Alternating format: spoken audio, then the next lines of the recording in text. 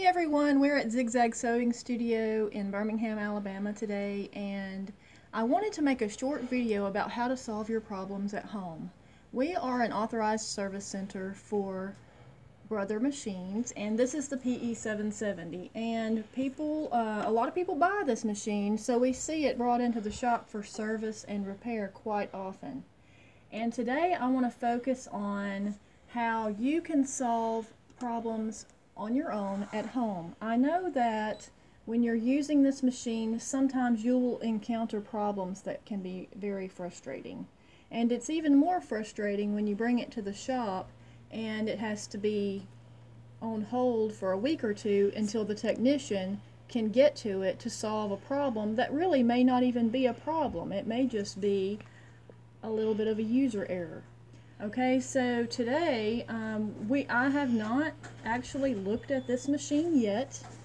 Um, I have only um, just saw this note here and it says, look at the hoop. It was serviced three weeks ago on 4 15 17. We used it for the first time on 5 7 17.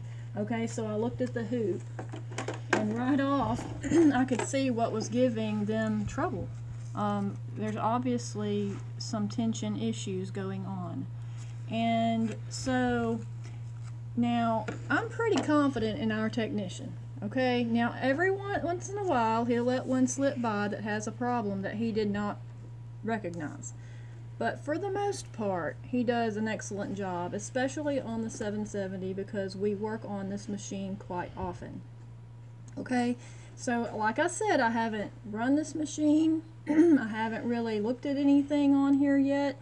And this is, if I were the user, this is what I would do at home if I were encountering this problem. Okay, first,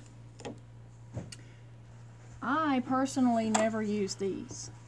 Okay, because they cause a little bit of problem up here on the spool pin. I know the manual says to use them. I personally don't like to use them. If I were encountering that problem on the back of the hoop, the first thing I would do is I would try rethreading the machine. Whenever you thread a PE770, you want to make sure that your presser foot is up. Okay, so let me take this thread out first. And normally what we would do when we're taking thread out is we would clip it here and then pull it out from the bottom.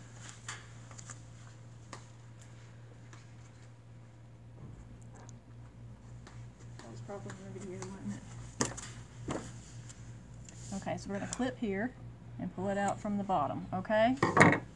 That keeps it from getting all hung up inside. Okay, so I'm going to go ahead and uh, get the machine calibrated.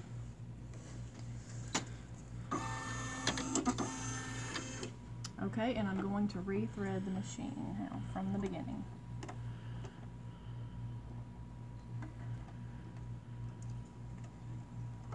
Presser foot is up, needle is in the highest position.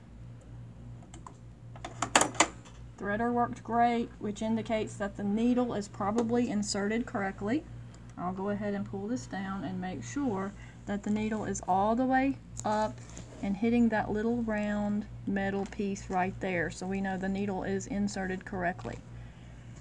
We don't, however, know at this time that the needle might not be slightly bent, but we're going to go ahead with our test and see what happens. Whenever you encounter a tension issue like this, it's a good idea to do what I call reboot the sewing machine. So I rethreaded it. Now what I want to do is I want to take out my bobbin case, make sure there's nothing in here. Don't see anything. And then make sure that this looks good I will also test the tension on the bobbin case by putting the thread in and pulling the thread this way. It feels like there's a pretty good amount of tension on the bobbin on this thread so um, we know from the fact that there's so much looping on the back side that the bobbin thread is pulling the top thread down pretty pretty uh, heavily so um, you don't want too much tension on the bobbin case, and I don't think that's the case here. You want it to just have a nice firm tension. And so I'm going to reinsert this, making sure that the triangle is pointing to the dot. Then I'm going to slide this back on Then I'm going to put my bobbin in correctly with the thread coming off counterclockwise and wrap it in around that path. I always hold my finger down on the bobbin as I'm winding it around so that it gets down in the tension slit. Then you put your little clear cover back on and now we're ready to test it and see what happens. See if we have the same problem that the customer is having.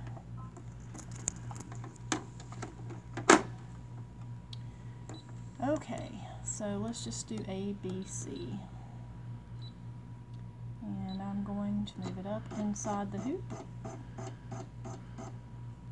Put my presser foot down and press go.